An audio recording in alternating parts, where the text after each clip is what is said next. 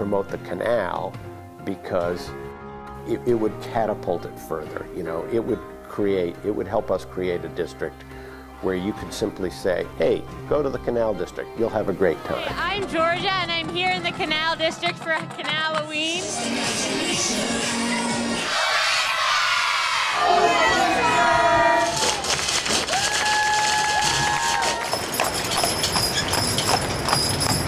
Our mission is to recreate the Blackstone Canal in Worcester, to revitalize and promote Worcester businesses.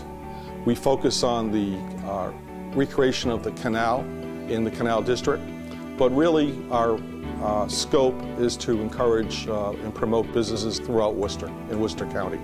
Here at the Canal Alliance, have a vision.